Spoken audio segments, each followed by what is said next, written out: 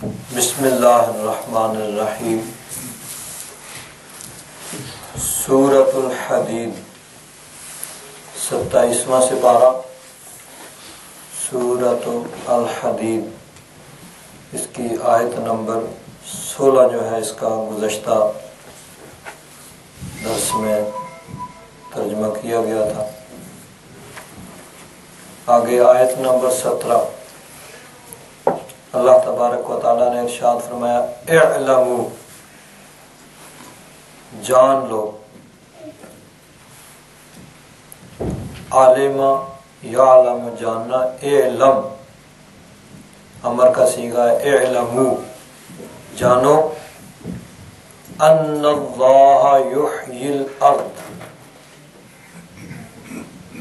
अल्लाह तबारक व ताला ज़मीन को ज़िंदा फरमाता है बादा मौतिहा उसकी मौत के बाद, उसके मरने के बाद।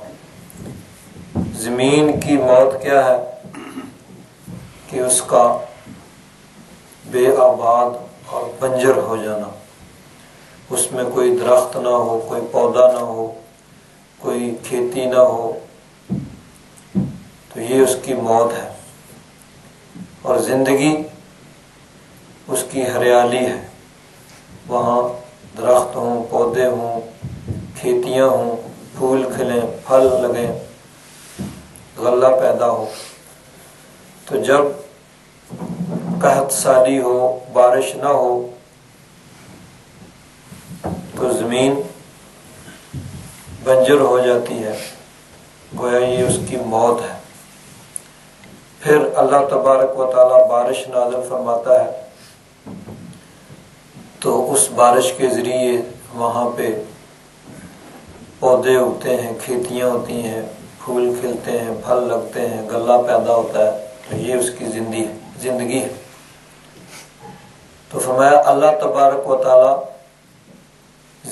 ज़मीन को उसकी मौत के बाद ज़िंदा करता है। पिछली आयत में ज़िक्र की तलकीन की गई। फरमाया कि क्या ईमान वालों के लिए वो वक़्त नहीं आया? अलम अन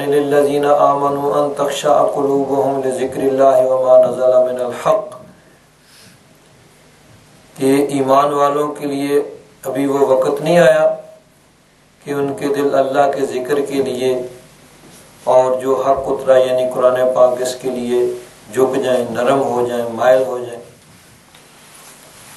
तो ज़िक्र के ज़रिए भी मुर्दा दिल जो है, उनमें ज़िंदगी पैदा होती है।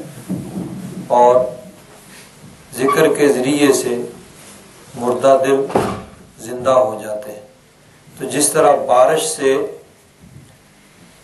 मुर्दा ज़मीन ज़िंदा हो जाती है, इसी तरह ज़िक्र से मुर्दा दिल ज़िंदा हो जाते हैं। तो इसलिए फरमाया कि जान लो अल्लाह तबारक व ताला ज़मीन को ज़िंदगी बख्शता है उसकी मौत के बाद। आयात। बेशक हमने तुम्हारे लिए आयात खोल कर वाजे करके बयान कर दी। अल्लाह तुम ताकि तुम समझो। इन्नल मुसद्दिकीन। बेशक सदका करने वाले। मर्द, वल मुसद्दिकात, और सदका करने वाली औरतें। तसद्दका से मुतसद्दिक, फिर ता को साथ से बदला और साथ का साथ में दगाम हो गया। मुसद्दिक हो गया। असल में मुतसद्दिकुन, मुतसद्दिकीन और मुतसद्दिकात। तो बेशक सदका करने वाले मर्द और सदका करने वाली औरतें, व करदन और जिन्होंने अल्लाह तबारक व को कर्ज हसन दिया। इस रुकू की पहली आयत जो है, उसमें इर्शाद फरमाया था, मंजल लजी युकरदुल्लाह करदन हसना कौन है जो अल्लाह तबारक व को कर्ज हसन दे? कर्ज हसन यानी अल्लाह तबारक व ताली की राह में खर्च करे और उसके तकाज़ों को भी पूरा करे, यानी खालिस अल्लाह की रज़ा के लिए, अल्लाह तबारक व ताली को खुश करने के लिए, उसके हुक्म पर अमल करने के लिए, अपनी आकबत को संवारने के लिए खर्च करे। फिर खर्च करने के बाद ना तो एहसान जतलाया जाए न तकलीफ़ दी जाए तो ये शरात जब पाई जाए तो उसको अल्लाह तबारक व ताली ने अपने फजल करम से कर्ज हसन फरमाया कि गोया तुम अल्लाह तबारक व ताली को ये कर्ज दे रहे हो तो जिस तरह किसी को कर्ज दिया जाता है, उसकी ज़िम्मेदारी होती है कि उसको लौटाए।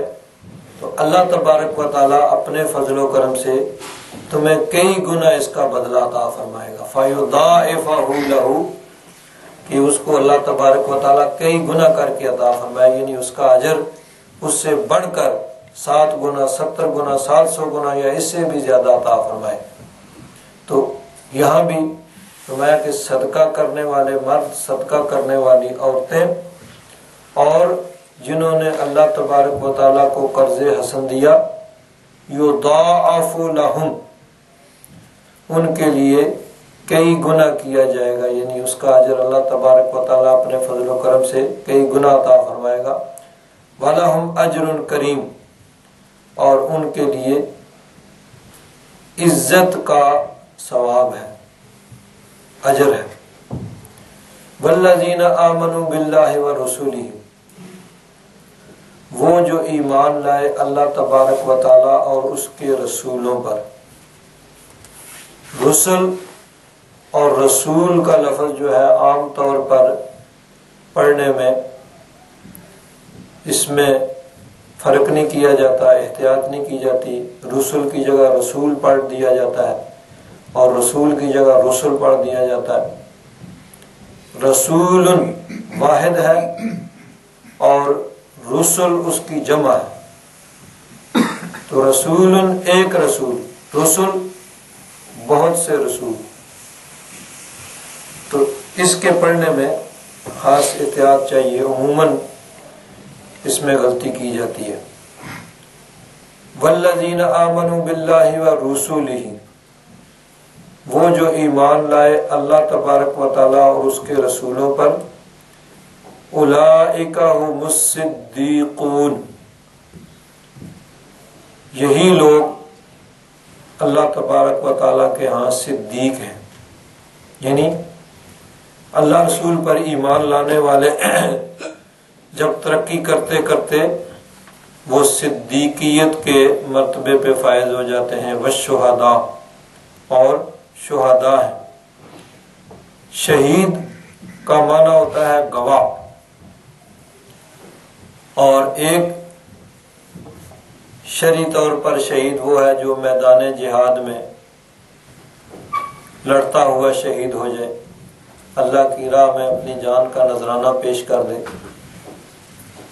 शाहिद, शहीद, इसका माना होता है गवाह। शाहिदा यश हदों से। शाहिद इसमें फ़ाइल और शहीद सिफ्त मुशबा का सीगा है। और उसकी जमा शोहदा। तो गवाह दुनिया में भी और आखरत में भी। हजूर नबी करीम सल्लल्लाहु अलैहि वसल्लम की उम्मत गवाह है। दुनिया में और आखरत में। आखरत में पहली उम्मतों के बारे में नबी करीम सल्लल्लाहु अलैहि वसल्लम की उम्मत जो है, वो गवाही देगी। अम्बिया कराम, अल्लाह तबारक व ताली की बारगाह में जब हाजिर होंगे तो अल्लाह तबारक व ताली फरमाएगा, क्या तुमने मेरा पैगाम पहुँचाया? तो अम्बिया कराम अर्ज़ करेंगे, या रब्बुल आलमीन, हमने तेरा पैगाम पूरा पूरा पहुँचा दिया। उनकी उम्मतें जिन्होंने इनकार किया था उनके पैगाम को नहीं माना था, ईमान नहीं लाए थे, वो इनकार कर देंगे कि यार जलाल इन्होंने हम तक तेरा पैगाम नहीं पहुँचाया। तो अल्लाह तबारक व ताली अम्बिया कराम से फरमाएगा कि, तुम्हारा गवाह कौन है? तो अम्बिया कराम अर्ज़ करेंगे, या रब जलाल तेरे महबूब की उम्मत हमारी गवाह है। वो हमारी गवाही देंगे कि हमने तेरा पैगाम पहुँचाया। हजूर की उम्मत फिर गवाही देगी। चुनाचे देखिए कुरान पाक में दूसरे सिपारे की दूसरी आयत है। वकजालिका जालनाकुम उम्मतम वसतन। हमने तुम्हें दरमियानी उम्मत यानी बेहतरीन उम्मत बनाया। लितकूनु शुहदा नास। ताकि तुम लोगों पर गवाह हो जाओ। जब हजूर की उम्मत गवाही देगी तो पहली उम्मतों के कुफार जो है फिर एतराज़ करेंगे कि ये तो मौजूद नहीं थे, ये कैसे गवाही दे रहे हैं? तो फिर हुजूर गवाही देंगे कि हाँ यार रबाल मेरी उम्मत दुरुस्त गवाही दे रही है। ये दुरुस्त कह रहे हैं, सच कह रहे हैं। अम्बिया कराम ने तेरा पैगाम कमा हक को पहुँचा दिया। तो फिर वो खामोश हो जाएँगे। तो अलैकुम शहीदा। तुम लोगों पर, दूसरे लोगों पर गवाह हो जाओ और रसूल सल्लल्लाहु तुम पर गवाह हो जाए। यानी तुम्हारी तुम्हारी गवाही की तस्दीक फरमा दे।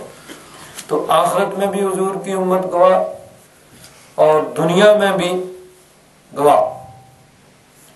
एक हदीस पाक में आता है नबी करीम सल्लल्लाहु अलैहि वसल्लम तशरीफ़ फरमा है, एक जनाजा गुजरा। तो लोगों ने कहा कि ये बहुत बुरा आदमी था। हुजूर नबी करीम सल्लल्लाहु अलैहि वसल्लम ने फरमाया वाजबत इसके लिए वाजिब होगी। फिर एक और जनाजा गुजरा। लोगों ने उसकी तारीफ़ की कि ये बहुत अच्छा आदमी था। हजूर ने फरमाया वजाबत इसके लिए भी वाजिब होगी अर्ज़ किया गया यार रसूल्ला क्या वाजिब हुई? हजूर ने फरमाया कि पहला जो था, जिसके बारे में तुमने कहा था कि ये बुरा आदमी था, उसके लिए जहन्नम वाजिब हो गई। और ये दूसरा शख्स जिसके मुतलक तुमने कहा कि ये अच्छा आदमी था, जिसकी तुमने तारीफ़ की, इसके लिए जन्नत वाजिब होगी अंतुम अर्थ तुम ज़मीन पर अल्लाह के गवाह हो। यानी आमतुल मुस्लिमीन, जिसकी नेकी, तकवा, परहेजगारी की गवाही दें, वो अल्लाह के नज़दीक भी अच्छा है। और जिसको लोग बुरा समझे, आम मुसलमान, वो अल्लाह के नज़दीक भी बुरा है। तो फरमाया तुम तुम ज़मीन पर अल्लाह के गवाह हो, जिसको तुमने अच्छा कहा, वो अल्लाह के नज़दीक भी अच्छा है, और जिसको तुमने बुरा कहा, वो अल्लाह के नज़दीक भी बुरा है। तो फरमाया, वो जो ईमान लाए अल्लाह पर और उसके रसूलों पर, वो उन्हीं में से सिद्दीकीन हैं और शुहदा हैं इन रब अपने रब के पास। लहुम अजरुहम व नूरुहम। उनके लिए उनका अजर है और उनका नूर है। वल्लजीना कफरू वकजबू बयातिना वो जिन्होंने हमारी आयात को, हमारी आयात का इनकार किया और जुटलाया उलाबुल जहीम, यही जहीम वाले, जहन्नम वाले, दोजख वाले, ईमान वाले, अल्लाह के नज़दीक सिद्दीक और शुहदा हैं और उनके लिए अजर है और नूर है। और जिन्होंने अल्लाह की आयात का इनकार किया और उनको जुटलाया, यही जहन्नम वाले इलमू, जान लो, अन्नमल हयात दुनिया, कि ये जो दुनिया की ज़िंदगी है लाबुन खेल है। लहवन, तमाशा है। व जीनतुन और जेबो जीनत आरइश। व तफाखुर बेनकुम और आपस में एक दूसरे पर फख्र करना। व तकासुर फिल अमवाल वल औलाद, माल औलाद में एक दूसरे पर कसरत बढ़ाई जाना। तो दुनिया की हकीकत क्या है? पाँच चीज़ें बयान फरमाई कि ये दुनियावी ज़िंदगी क्या है? लाइबुन व लहवुम व जीनतुम व तफाखुरुम बैनकुम व तकासुरुन फिल अमवाल वल औलाद। खेल, तमाशा, जेबो जीनत, आपस में फखर करना और माल औलाद में कसरत चाहना ये है दुनिया की ज़िंदगी। का मसा ले गए सिन। इसकी मिसाल जैसे बारिश, गैस बारिश। आजबल कुफारा नबात कुफार का लफज काफिर उनकी जमा है कुफार तो काफारा का वैसे लफ्जी माना होता है छुपाना।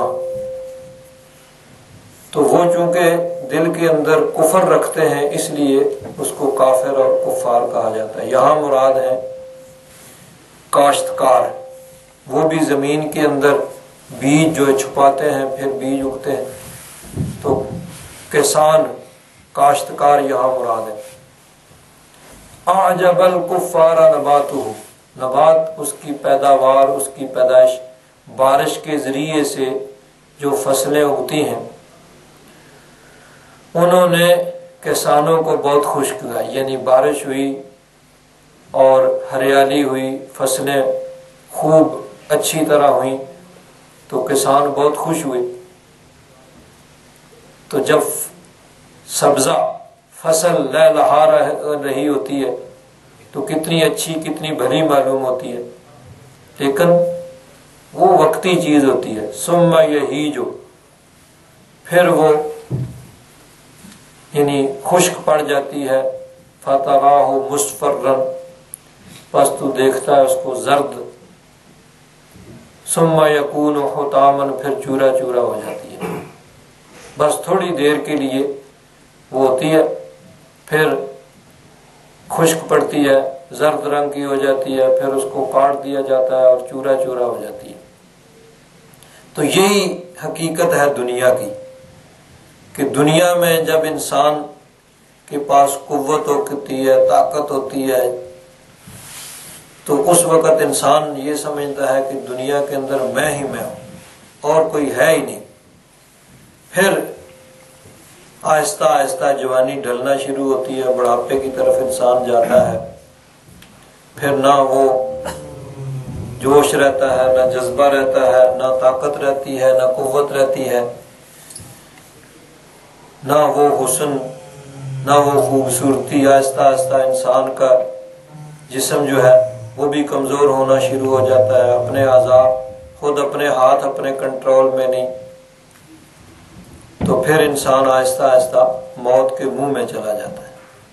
तो यही जिस तरह खेती है, उसी की मिसाल इंसान की भी है कि इसके लिए भी थोड़ी देर के लिए ये सारी चीज़ें इंसान उस वक्त समझता है कि यही चीज़ हमेशा रहेगी और वो समझता है कि मैं ही मैं हूँ। तो फरमाया कि उस बादल की मिसाल इस दुनिया की, दुनियावी ज़िंदगी की जिसकी पैदावार ने किसानों को बहुत खुश किया, बहुत तजब में डाला। सुम्मा यही जो फिर वो खुश्क हो जाता है फतरा हो मुस्फर फिर तो उसको जर देखता है, फिर सुम्मा यकून होतामन, फिर वो चूरा चूरा हो जाता है। इस ज़रिए से, इस मिसाल के ज़रिए से अल्लाह तबारक व ताला ने दुनियावी ज़िंदगी की हकीकत को बयान किया कि दुनियावी ज़िंदगी की हकीकत क्या है, इसको इसी मजमून को अल्लाह तबारक व ताला ने कुरान पाक में और मकाम पे भी बयान फरमाया। तेईसवा सिपारा सूरह अजुमर इसकी आयत नंबर 21 में भी इसी मजमून को बयान फरमाया। अलम तरा अल्लाह अनजला मिनस माअन। क्या तूने नहीं देखा कि अल्लाह तबारक ताला ने आसमान से पानी उतारा, यानी बारिश नाजिल हुई? फसाला का हूँ या ना बी आफिल अर्द? फिर ज़मीन के अंदर जो नदी नाले हैं, उनके अंदर वो पानी बहता है। सुम युखरजु बिही जर अम मुख्तलिफन अलवान हो फिर उसके ज़रिए से अल्लाह तबारक वाली मुख्तलिफ़ तरह की खेतियाँ पैदा फरमाता है। उनके मुख्तलिफ़ रंग होते हैं। सुम यही जो फिर वो खुश्क होता है। फतरा हो मुस्फर फिर तू उसको देखता है कि जर्द पड़ जाती है। सुम्मा यह जल खुतामन फिर उसको चूरा चूरा कर देता है। इन नफीजा निकर ज़िक्र अलबाब, अकल वालों के लिए इसके अंदर बड़ी नसीहत है। कि इसके ज़रिए से इंसानी ज़िंदगी को समझे कि इंसानी ज़िंदगी का भी यही हाल है। तो यहाँ भी यही फरमाया कि बारिश के ज़रिए से खेती लहलाने लगी, किसान बहुत खुश हुए, लेकिन वो वक्ती चीज़ थी। फिर खुश्क हो गई, जर्द पड़ गई और फिर चूरा चूरा हो गई। वफिल आखिरत अजाबन शदीद आखरत में सख्त अजाब है। व मगफरत मिनल्लावान और अल्लाह तबारक व ताली की तरफ़ से मगफरत और खुशनुदी है। यानी दोनों चीज़ें मौजूद हैं। अब जिस तरह इंसान ज़िंदगी गुजारेगा, इन दोनों चीज़ों में से कोई एक चीज़ का वो हकदार ठहरेगा। या तो अजाब शदीद का, या मगफरत मिनल्लाह व रिदवान। अल्लाह की मगफरत और उसकी रिदवान उसकी खुशनुदी का हकदार ठहरेगा। जो ज़िंदगी उसके हुक्म के मुताबिक गुजारेगा, उसके लिए मगफरत और रिदवान है अल्लाह की तरफ़ से। और जो उसकी नाफरमानी में गुजारेगा, उसके लिए अजाब शदीद है। तो दोनों चीज़ें आखिरत में मौजूद हैं। इंसान जिस तरह ज़िंदगी गुजारेगा, उसी के एतबार से फिर आगे उसका, यानी उसका अंजाम होगा। कोई अजाब शदीद में होगा और कोई मफरत और रिदवान में होगा। वमल हयात दुनिया मताउल और दुनिया की ज़िंदगी क्या है? नहीं है मगर धोखे का सामान। दुनिया की ज़िंदगी एक धोखे का सामान है। गरूर और गुरूर। पिछले दर्श में भी इससे पहले ये बयान हुआ था आयत नंबर चौदह का आखिरी लफज है गरूर। और यहाँ गुरूर, गैन के ऊपर पेश है।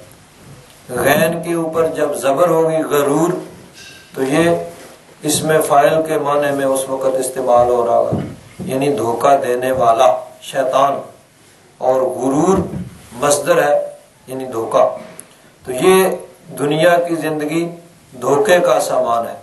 यानी जब इंसान इस दुनिया में इस तरह खो जाए कि आखरत को भूल जाए तो उसने बहुत नुकसान का सौदा किया है। यानी दुनिया के अंदर इस तरह खो गया कि आखरत को भूल गया कि समझा कि दुनिया ही दुनिया सब कुछ है। और इस दुनिया को बनाने, संवारने के लिए सब कुछ किया लेकिन आखरत को भूल गया, आखरत के लिए कुछ नहीं किया तो उसने बहुत धोखा खाया। ये दुनिया धोखे का सामान है। बुज़ुर्ग कहते हैं कि दुनिया की क्या मिसाल है कि आखरत के मुकाबले में ये इस तरह है, जिस तरह एक परिंदा उड़ रहा है साथ साथ उसका साया भी जा रहा है। परिंदा ऊपर हवा में उड़ रहा है साथ साथ उसका साया जा रहा है। तो एक आदमी अगर परिंदे के पीछे भागता है, उसको पकड़ने की कोशिश करता है, मेहनत करता है, जब पकड़ लेगा, उसकी मेहनत रंग लाएगी। और एक आदमी साय के पीछे भागता रहे तो सारी उम्र भागता रहे, साया उसके हाथ नहीं आ सकता। तो आखरत के लिए इंसान कोशिश करेगा मेहनत करेगा, सही से मत कोशिश की मेहनत की, फ़ायदा हुआ। दुनिया के लिए दौड़ धूप करता रहा करता रहा करता रहा। आखिर में हासिल कुछ नहीं हुआ। हज़रत पीर करम शाह साहब रहमत इस आयत की तफसीर के अंदर बड़ा प्यारा मजमून आपने बयान फरमाया। फरमाते हैं, लोग दुनियावी ज़िंदगी पर इस कदर फरेफ्ता है कि उन्हें अपनी आकबत संवारने की फुर्सत ही नहीं मिलती। यानी दुनिया में इस तरह मुनहमिक हो गए, इस तरह गुम हो गए, खो गए कि आखरत को भूल गए। तो आकबत वो संवारने की फुर्सत ही नहीं मिलती। वो इसके लिए बड़ी सी बड़ी तकलीफ़, बखुशी बर्दाश्त करते हैं। इसके लिए कानून शिकनी, यानी कानून को तोड़ना मिल्लत फरोशी, यानी अपनी मिल्लत को बेच देना, ऐसा काम करना कि सारी कौम उसका नुकसान उठाए। तो फरमाते हैं इसके लिए कानून शिकनी, मिल्लत फरोशी, वतन से गद्दारी के इरतकाब से भी बाद नहीं आते। इस आयत में उनकी इस कम जरफी और कम अकली पर उन्हें मुतनबे फरमाया जा रहा है। दुनियावी ज़िंदगी के दामन में जो रंगीन खिलौने हैं, उनमें से एक एक का ज़िक्र कर दिया। पाँच चीज़ें बयान हुई ना कि दुनिया की ज़िंदगी क्या है? खेल है, तमाशा है, सामान आरइश है, आपस में एक दूसरे पर फख्र करना है और एक दूसरे से ज़्यादा माल और औलाद का हासिल करना है। माल और औलाद में एक दूसरे पर कसरत जाना। ये पाँच चीज़ें बयान हुई। तो फरमाते हैं कि इस दुनियावी ज़िंदगी के दामन में जो रंगीन खिलौने हैं, उनमें से एक एक का ज़िक्र कर दिया, फिर इंसान को झंझोड़ा और उससे दरियाफ्त किया कि इन खिलौनों में से कोई खिलौना इतना कीमती है कि उसे इस ज़िंदगी का हासिल करार दिया जाए। अगर नहीं तो फिर कनीन, करीने दानशमंदी ये है कि वो अपने तर्ज अमल पर नज़रसानी करे। फरमाया, दुनियावी ज़िंदगी क्या है? लाह वो लाभ जो बच्चों का काम है।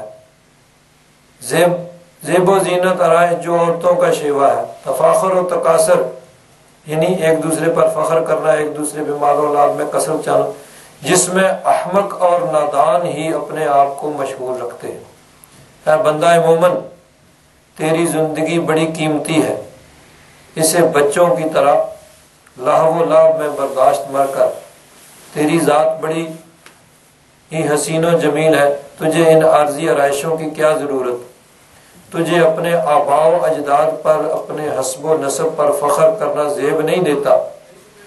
तुझे हर वक्त अपने अमाल हसना में इजाफा करने की तरफ़ मुतवजह रहना चाहिए। यानी नेक अमाल उनकी कसरत इस तरफ़ मुतवजह रहना चाहिए, ताकि तेरे हुसन अमल से तेरी ज़ात ही नहीं, तेरी बस्ती ही नहीं, बल्कि तेरा सारा मुल्क और बनी इन नौ इंसान इससे फैज याब होते रहे।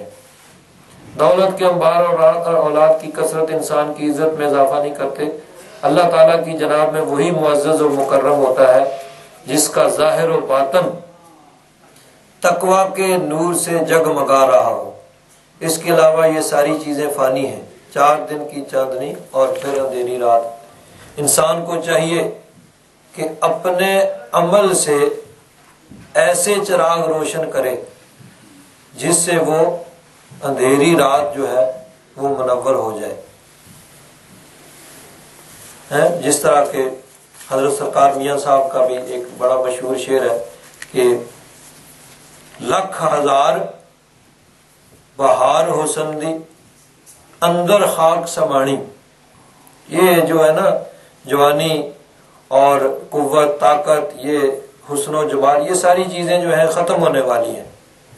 तो लख हज़ार बहार हुसंदी अंदर खाक समाणी लापरीत अजय मोहम्मद जग विच रवे कहानी। कि कोई ऐसा काम कर जाओ कि लोग तुम्हें अच्छे अल्फाज से याद करें। अच्छे लफ्जों से याद करें कि वह अच्छा आदमी था।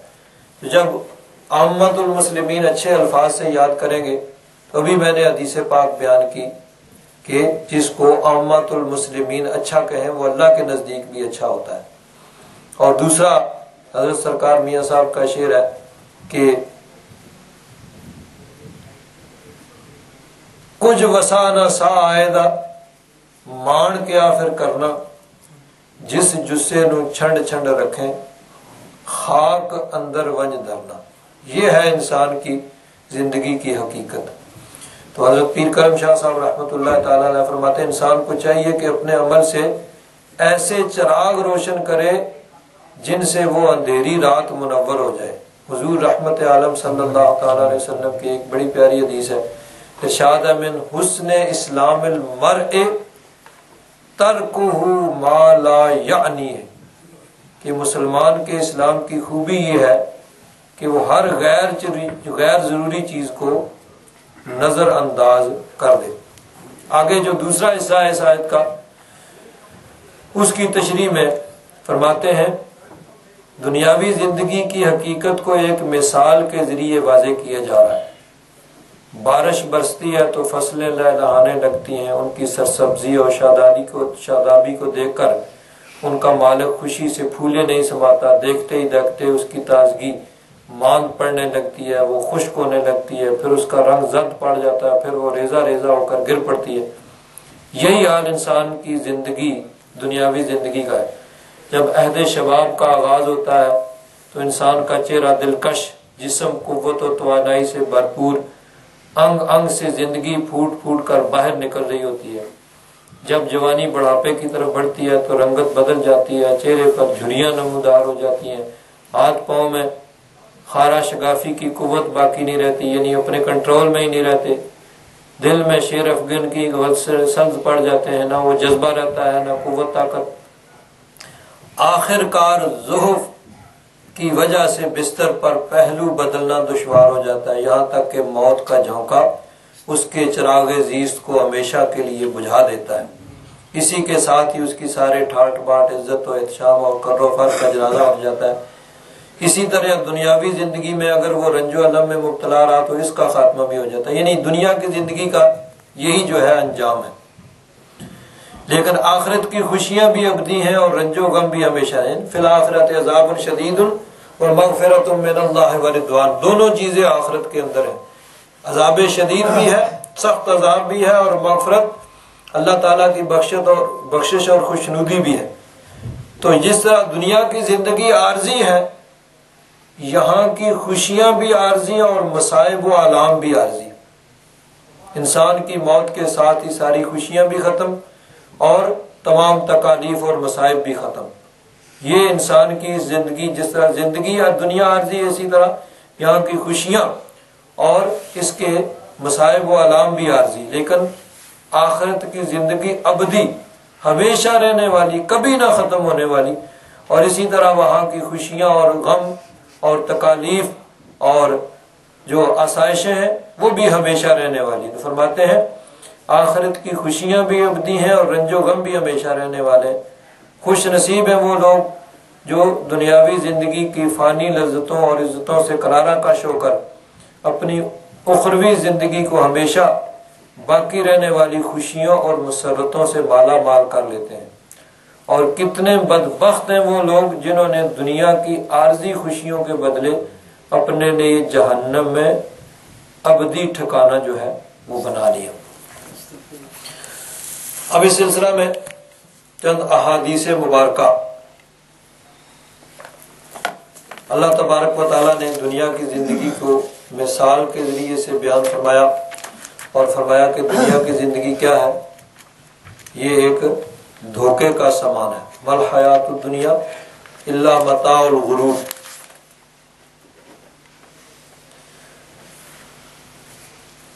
कुरान पाक में कई मकाम पे अल्लाह तबारक वाली ने इस दुनिया की ज़िंदगी की बेसुबाती और इसकी तरफ़ कम तवज्जो और आखरत की तरफ़ तवज्जो देने की अल्लाह तबारक व ने तलकीन फरमाई। चुनाचे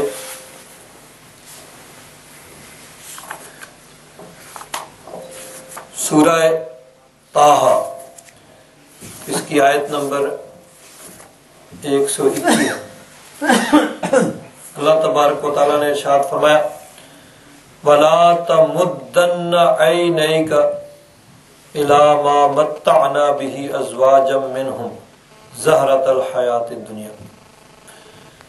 फरमाया कि जो लोगों को दुनिया का मालो दौलत और दुनिया की आसाइशें अता फरमाई गई हैं फरमाया आँख उठाकर भी उनकी तरफ़ न देखो। ले नफ्ते न फ़ी। ये जो है सब आजमाइश के लिए दिया गया है। वह रिज को रबी का खैर व अबका। और तेरे रब का रिजक जो है, वो बेहतर और सबसे ज़्यादा बाकी रहने वाला है। यानी जिसको अल्लाह तबारक व ताला ने नेकी की तोफीक अता फरमाई। और नेकी के ज़रिए से उसने आखरत को कमा लिया। ये असल चीज़ है जिसको ये हासिल होगी। कुरान पाक में दो मकाम पे ये मजमून जो है, चौदहवें सिपारे में भी और सोलहवें में। अहादीस मुबारक इस सिलसिला में। हज़रत अनस रदी अल्लाह फरमाते हैं मन असबहा, व हम दुनिया। शत्त अमरहू। कि जिस शख्स ने सुबह की, इस हाल में कि उसको सिर्फ़ दुनिया की फ़िक्र लगी हुई है। दुनियावी, बस आखरत को भूल कर फरामोश करके, दुनिया की फ़िक्र में इस तरह गुम है। कि बस दुनिया ही दुनिया। तो फरमाया, जिसने सुबह की, दुनिया की फ़िक्र में, अल्लाह तबारक व ताला उसको परेशान हाल रखेगा और उसके अहलो अयाल को मुतफरक कर देगा और उसकी आँखों के सामने फक्र फाका कर देगा। यानी दुनिया जितनी मर्ज़ी है उसके पास आ जाए, उसकी आँखों के सामने फक्र फाका ही होगा। और मिल गई, फिर भी कहेगा, ये अभी थोड़ी है। ये तो ऐसे खत्म हो जाएगी। अभी भी थोड़ी है, अभी भी थोड़ी है, अभी भी थोड़ी है। बस वो भागा जा रहा है उसके पास। उसके पीछे पीछे बस भागा जा रहा है। तो फरमाया, उसकी आँखों के सामने फकरो फाका कर देगा। यानी दिल के अंदर फकर होगा, चाहे दुनिया उसके पास जितनी भी आ जाए, दिल उसका जो है, वो गनी नहीं होगा। वलम याती ही मिनत दुनिया इल्ला माँ को तेबाला हो।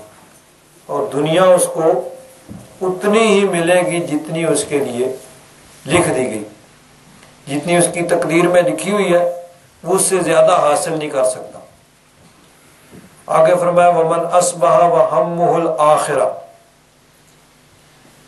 जिसने सुबह इस हाल में की कि उसको आखरत की फ़िक्र है। अपनी आखरत की फ़िक्र है उसको। इस हाल में उसने सुबह की, जमा अल्लाह लहू हम तो अल्लाह तबारक व ताला उसको मुतमिन रखेगा और उसके अहलो अयाल की हिफाजत करेगा और उसके दिल को मुस्तगनी कर देगा। दिल के अंदर गिना आ जाएगा और उसके पास दुनिया अतत दुनिया वही राग मतुन दुनिया जलीलो खार होके उसके पास आ जाएगी। तो आखिरत की फ़िक्र है तो अल्लाह तबारक वाली दुनिया में भी उस पर कर्म फरमाएगा और आखरत भी मिलेगी। और जिसको सिर्फ़ दुनिया की फ़िक्र है, आखरत को भूल चुका है तो दुनिया उसको नहीं मिलेगी। मिल भी जाएगी तो फिर भी वो फकीर ही रहेगा, फकरो फाका उसके दिल के अंदर होगा। दिल में गिना नहीं होगा। एक और हदीस पाक में है। नबी करीम सल्लल्लाहु अलैहि वसल्लम ने इरशाद फरमाया इजार मुर्रजुला कद उतिया जुहदन फिर दुनिया, व किल्लत मंतिन जब तुम किसी ऐसे शख्स को देखो कि जिसको दुनिया में जुहद, यानी दुनिया की तरफ़ उसकी तवज्जो कम है, आखरत की तरफ़ उसकी पूरी तवज्जो है, सारी तवज्जो आखरत को संवारने के लिए वो लगा हुआ है। तो दुनिया में जुहद बेरगबती है, आखरत के अंदर रगबत है। और दूसरी चीज़ फरमाए, किल्ला तो मन कम गोई, ज़्यादा बोलता नहीं, ज़्यादा बोलना भी जो है ना, हर वक्त इंसान जब बोलता ही रहे तो ये भी दिल को मुर्दा करता है। और जितना ज़्यादा इंसान बोलेगा, उतनी ही ज़्यादा वो गलतियाँ भी करेगा तो उतना ही ज़्यादा फिर नुकसान भी उठाएगा। तो कम गोई, ये भी जो है, दो चीज़ें। फरमाया कि दुनिया में जोहद बेरगबती और कम गोई, कम बोलना, ये दो चीज़ें जिसको अता की गई। फरमाया फक तरबू मिन हो तुम उसका कुर्ब हासिल करो। फ़ैन यलकल हिकमता, कि उसको हिकमत दी गई है। अल्लाह तबारक व ताला की तरफ़ से उसको दानाई दी गई है। एक हदीस पाक में हज़रत सहल बिन साद रदी अल्लाह तु और हज़रत अब्दुल्ला बिन उमर रदी अल्लाह तुमा से रवायत है। फरमाया, हजूर नबी करीम सल्लल्लाहु अलैहि ने फरमाया इज़ हद फिर दुनिया। युहिब्बुकल्ला। दुनिया में बेरगबती करो। अल्लाह तबारक व ताला तुमसे मोहब्बत करेगा। वजहद माफ़ी दिन नास, युहिब्बुकन नास।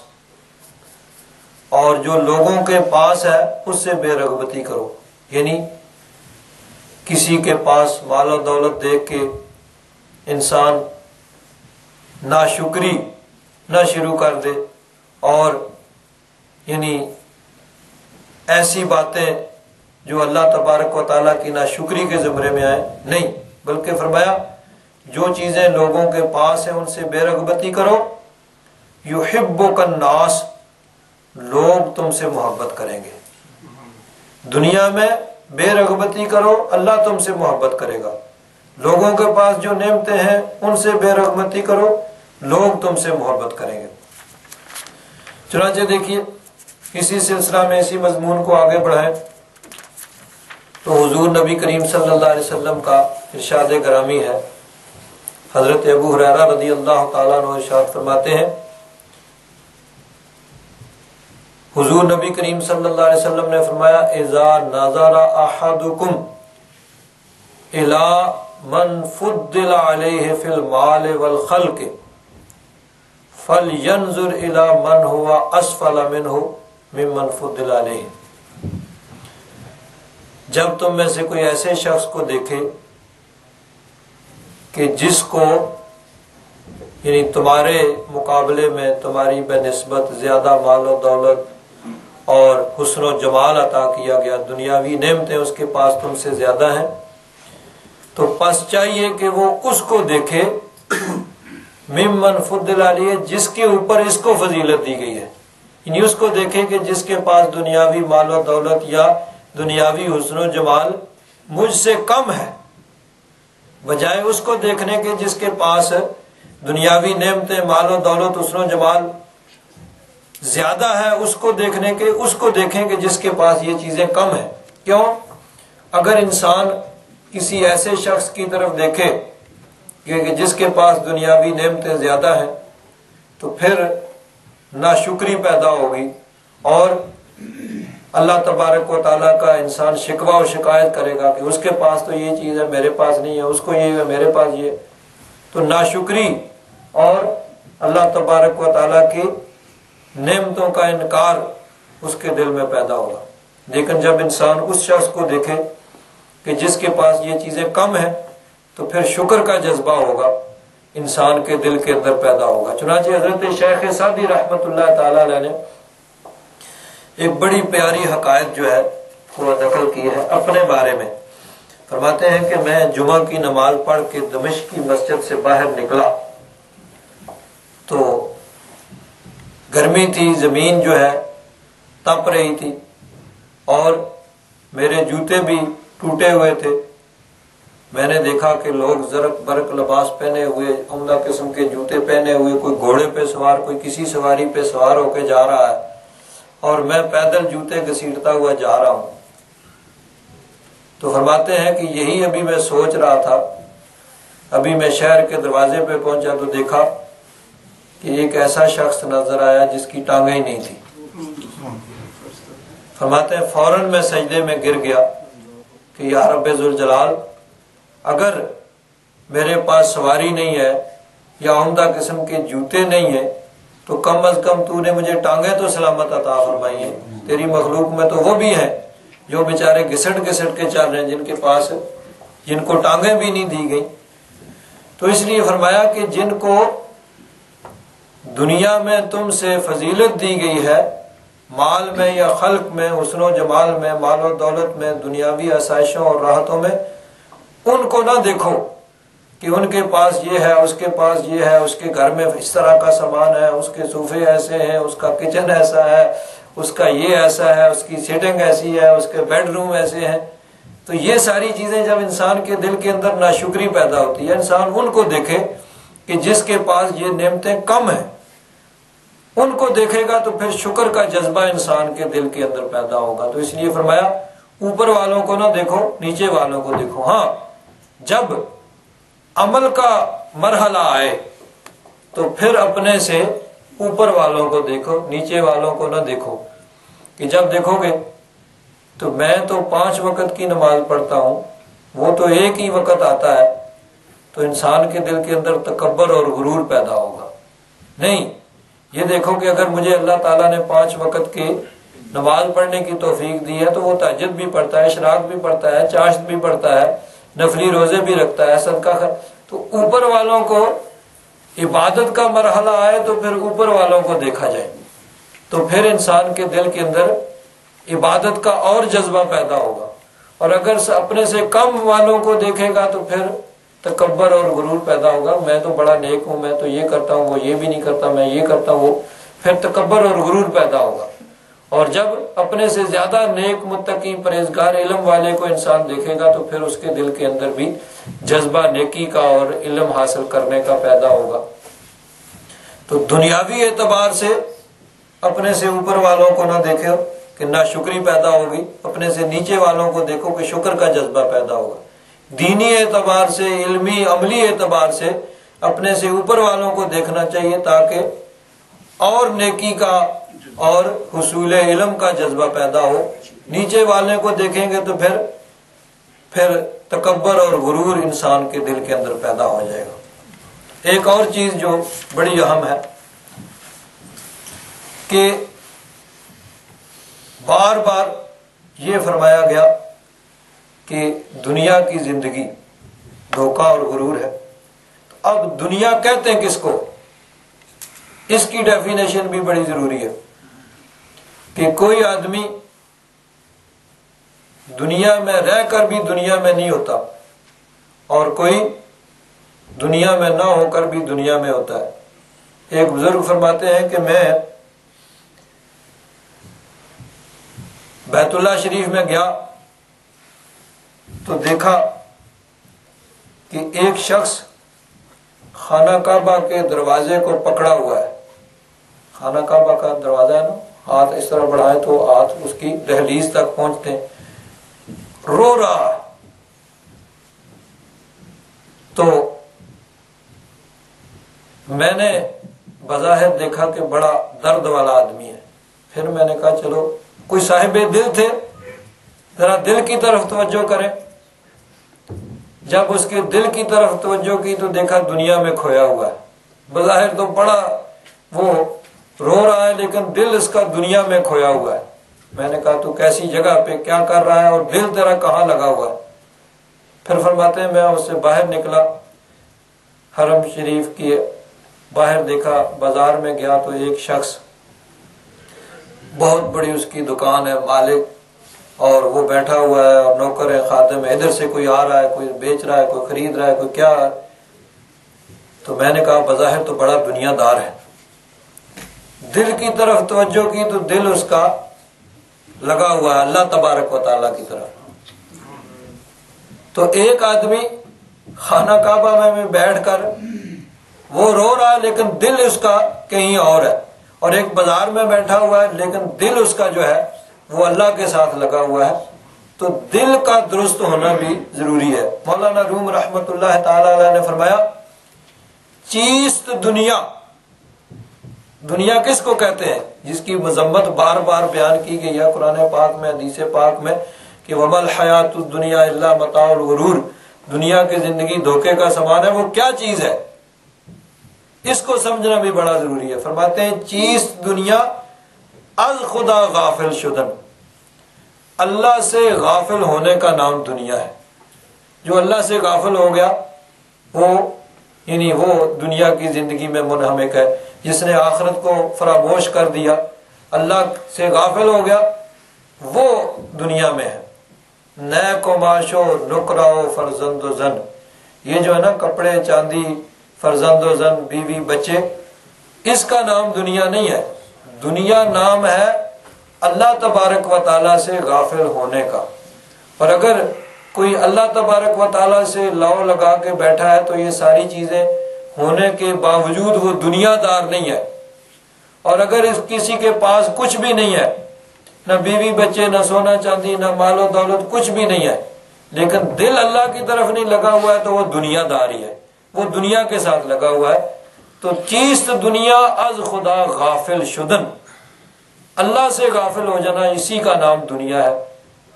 वरना ऐसे लोग भी हैं कि जिन्होंने इस दुनिया के साथ ही आखरत को हासिल कर लिया।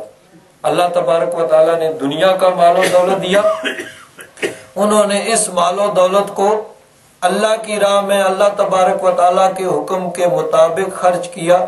इसी से उन्होंने आखरत जो है समाज बना ली हज़रत उस्मान गनी रदी अल्लाह तु तीन मरतबा उन्होंने इस दुनिया के माल से जन्नत खरीद ली।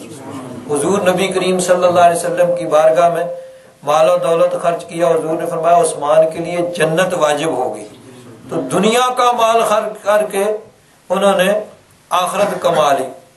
तो क्या है? चीज़ दुनिया, अज खुदा, गाफिल शुदन, नए कमाशो, नुकराओ फरजंदो जन कि ये लिबास, सोना चांदी, बीवी, बच्चे, इसका नाम दुनिया नहीं है। दुनिया नाम है अल्लाह से गाफिल हो जाने का। बुज़ुर्ग फरमाते हैं कि इसको यूँ समझो कि जैसे कश्ती जो है, वो पानी के अंदर चलती है। पानी के बगैर कश्ती नहीं चल सकती। कश्ती तभी चलेगी जब पानी होगा। तो कश्ती जब तक पानी के अंदर है उस वक्त तक दुरुस्त है। और जब पानी कश्ती में आ जाए तो फिर गर्क हो जाएगी? कश्ती पानी में रहे तो चलती रहेगी। पानी कश्ती में आ जाए तो कश्ती डूब जाएगी। तो इंसान दुनिया में रहे तो ठीक है। लेकिन अगर दुनिया इंसान के अंदर आ जाए, दिल में बस जाए, इंसान आखरत को भूल जाए, और दुनिया ही दुनिया उसको बनाने के लिए, उसको संवारने के लिए सब कुछ करे तो फरमाया, फिर अब वो, यानी कश्ती पानी में नहीं है, बल्कि पानी कश्ती में आ गया और अब वो उसके डूबने का वक्त आ गया तो इंसान दुनिया में रहे, दुनिया दिल के अंदर ना आए। बस इंसान दुनिया में रहे कि इस ज़िंदगी को गुजारना है, अल्लाह की रजा के लिए, अल्लाह तबारक व ताला के हुक्म के मुताबिक गुजारना है। तो फरमाया, चीज़ दुनिया, अज खुदा गाफिल शुदन।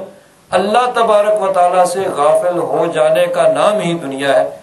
चाहे उसके पास दुनिया का कुछ भी ना हो, जो अल्लाह से गाफिल हो गया, वो दुनियादार है। और जिसके पास सब कुछ है, लेकिन वो अल्लाह ताला से गाफिल नहीं हुआ, अल्लाह तबारक व के हुक्म के मुताबिक ज़िंदगी गुजारी और मालो दौलत को अल्लाह ताला के हुक्म के मुताबिक खर्च किया तो वो दुनियादार नहीं है, वो अल्लाह वाला है। आगे फरमाया, तर्क दुनिया, हर के कर्द अजोद खेश, पेश आमद पेशे हो दुनिया से पेश। और ये दुनिया ऐसी चीज़ है कि जो अल्लाह की रजा के लिए दुनिया से बेरगबती करता है तो दुनिया जलीलो खार होके उसके पास आ जाती है। जैसा कि अभी हदीस पाक में गुजरा कि ये दुनिया खुद ब खुद जलीलो खार होके उसके पास आ जाएगी। बुज़ुर्ग इसको एक मिसाल के ज़रिए बयान करते हैं कि इंसान ये साया जो इंसान का होता है, वो इंसान के साथ साथ रहता है। अगर सूरज की तरफ़ मुँह करके इंसान चलेगा साया उसके पीछे पीछे आएगा। और अगर सूरज की तरफ़ पुष्ट करके चलेगा तो फिर साया उसके आगे आगे चलेगा। तो यही हाल दुनिया का है। तो दुनिया के पीछे भागे, दुनिया आगे आगे भागती है। दुनिया को पुष्ट करें, दुनिया पीछे पीछे आती है। तो फरमाते हैं तर के दुनिया, हर के कर्द अजुहद खेश। पेश आमद, पेशे हो, दुनिया से पेश। पहले से बढ़ के दुनिया, उसके पास आ जाएगी। ज़िंदगी दर मुर्दनो, दर मेहनत अस्त। आब हैवा, दर दरूने, जुल्मत अस्त। मौलाना रूम रहमत ने फरमाया कि ज़िंदगी मरने और मेहनत करने में यानी मेहनत और मुशक्क़त के अंदर ज़िंदगी है। आखिरत को हासिल करना है तो उसके लिए मेहनत करनी पड़ेगी, मुशक्क़त करनी पड़ेगी। बगैर मेहनत और मुशक्क़त के आखिरत जो है वो हासिल नहीं होती है। दुनिया को भी हासिल करना है, उसके लिए भी इंसान को मेहनत करनी पड़ती है। बगैर मेहनत के दुनिया भी नहीं मिलती तो आखिरत के लिए तो उससे ज़्यादा मेहनत करनी पड़ेगी। फरमाते हैं, आबे है या हैवान, दर दरून जुलमतस्त। वो जो आबे हैवान है ना, आबे हयात का चश्मा है, वो अंधेरे के अंदर, जुल्मत के अंदर है, उसके लिए इंसान को मेहनत कोशिश करनी पड़ती है। तो आखिरत के हसूल के लिए भी इंसान को मेहनत और कोशिश करनी पड़ेगी, आराम छोड़ना पड़ेगा और मुशक्क़त बर्दाश्त करनी पड़ेगी, तब जो आपकी आखिरत मिलेगी। अल्लाह तबारक हम सबको तोफ़ी अता